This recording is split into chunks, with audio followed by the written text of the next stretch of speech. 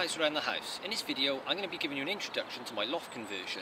In this particular video I'm going to be showing you how I'm going to break into the roof to give me access from the scaffolding and I'm going to be clearing out the loft of all the insulation and all the rubbish so I've got a nice clean working area to begin the project. This is the first in a series of loft conversion videos I'd like to show you where I'll be trying to cover all aspects of the project as individual videos. The first bit of the project is pretty crude. I've just got to take some of the slates off and the roof felt and try and gain access through two of the rafters. So let's get on with it.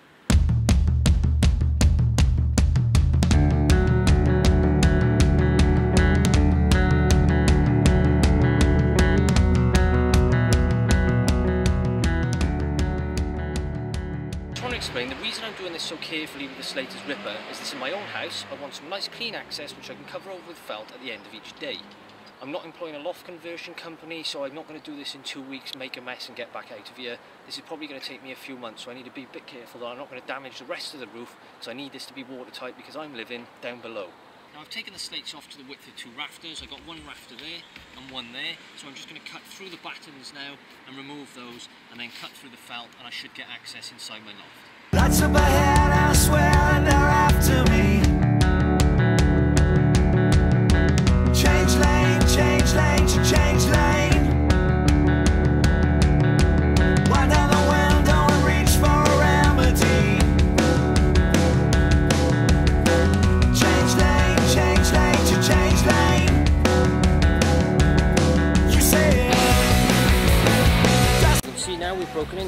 Into the loft, I got some access, it's not great, but it's enough to do what I need to do. Now we're going to rip out all this insulation, I'm going to bag it up, chuck it on the lawn for now. Sounds on the radio all sound the same to me. Teach you, teach you to reach you.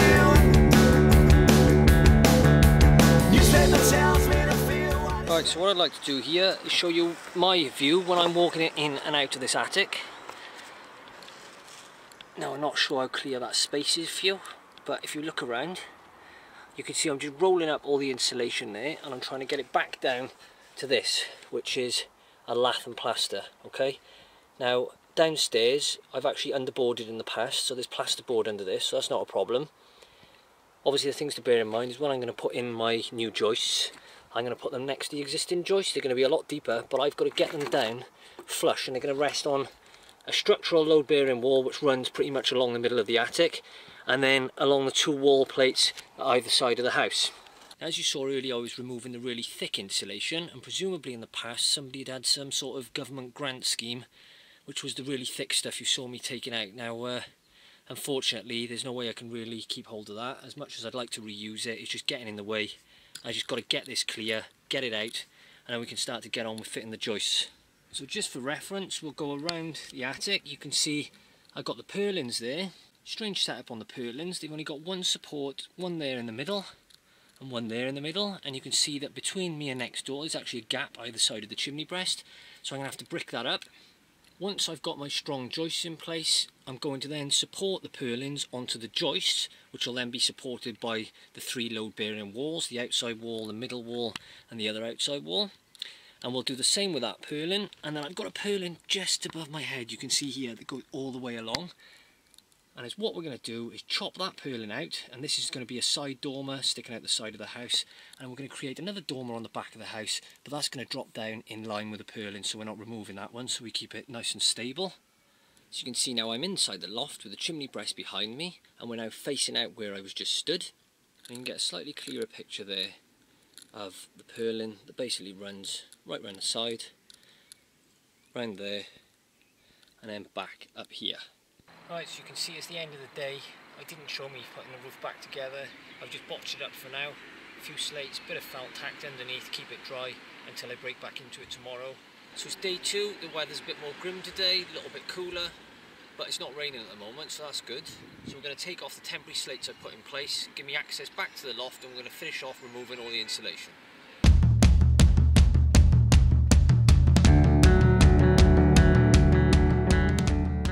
Don't forget to get your mask on. It's horrible in here. So all I'm doing is just rolling this insulation up and keeping all the crap inside it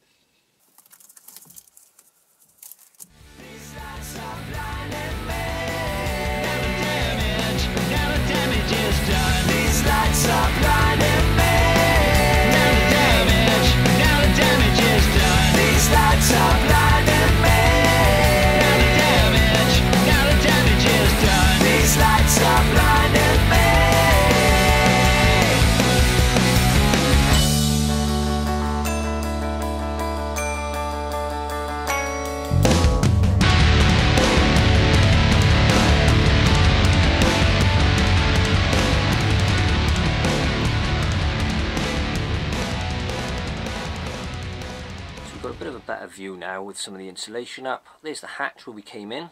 If I spin around, and this is round towards the back garden, we can see you've got your purlins, go all the way along there. When we put the new joists in, we're going to put some nice supports down underneath the purlin onto the strengthened joists and that will help support the new roof. If we go around to the other side you can see again the other purlin coming around there.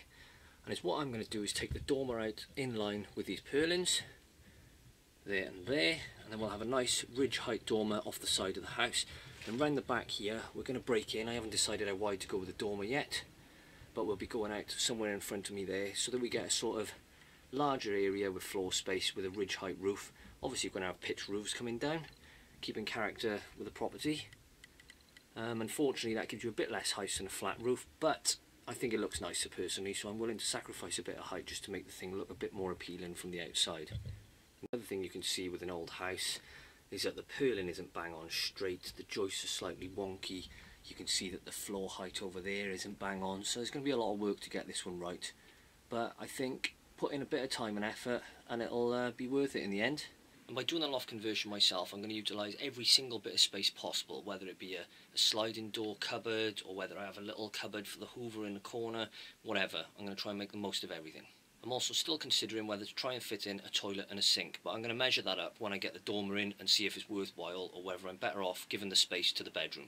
So it's the end of day two, I've removed any insulation that was in there, I've removed any crap that was between the joists, and I've removed any old cable that was also between the joists. You can see I've just done a temporary fix back over the roof again so we can leave it in case it rains. So it's day three of the project, I've got to take the slates back off the roof again. Weather's not looking so good, but I'm going to chance it anyway. The weather's not looking so good today, I'm going to leave this top slate on. The access isn't as good, but I'm not going to be in and out so often today. That way, if I get a downpour, it's going to be a lot easier to close this back up. Apologies for the poor lighting, obviously I've just got one light in this attic and it's very dark. So the task today is trying to remove the old black lime mortar. Now when I renovated the house, I underboarded with plasterboard. So on top we've still got the wooden lath and we've still got the lime mortar. Now unfortunately, where the old black mortar is pushed up through the lath, it's obviously sticking proud. And if you were to get the new joists and just bottom on top and bang them down into place, you can knock the old plasterboard down and potentially crack the whole ceiling. So this may seem a bit long-winded, but it's essential for the way I'm going to do it. Now it's a very crude method, but I'm just going to use this little shovel, I'm going to work my way across the floor, I'm just going to scrape it up, put it into a bucket and try and get it as flat as possible. Now if you're using a method using steel beams, one at each end of the loft, you could hang your floor joists off the steel beams and raise them above the existing ceiling below. This way it wouldn't make contact with the ceiling and you'd have no problem at all. You could leave all the lime mortar in place. But for one, steel beams are expensive, two, you need a bit more headroom to use them, and three, they would take up room down by the eaves which I want to use for loft space. So whilst this method seems like a lot of messing around, it is possible for me to use these wooden joists. I can bring it in at quite a cheap price. It's something I can do myself without using cranes or 10 men to push the beams into place. It'll be robust with lots of bespoke storage space and with the limited headroom I got I'm able to bring it in and meet the building regulations. Yes, it's probably going to take me a long time, but to be honest, when it's done, it'll be a lovely space and it'll be well worth doing.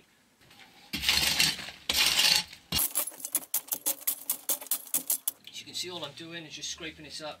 I'm putting it into little piles, which I'm going to remove later. I just want to get on with the bulk of the job for now.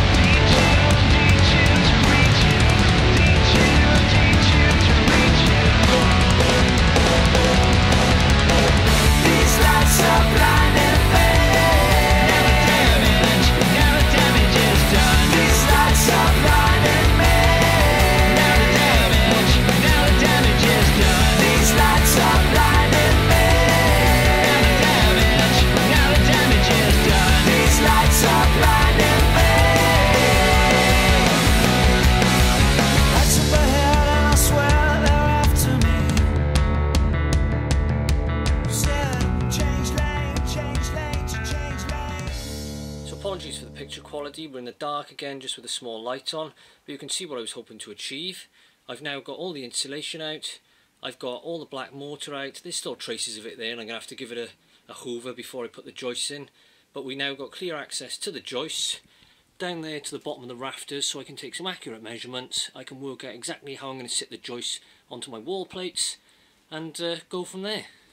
As I said before, in time I'll be uploading a series of videos of my loft conversion, so the next stage which I'll upload will be me trying to measure, cut in and fit in the joist. So if you're interested in that, come back to watch that one.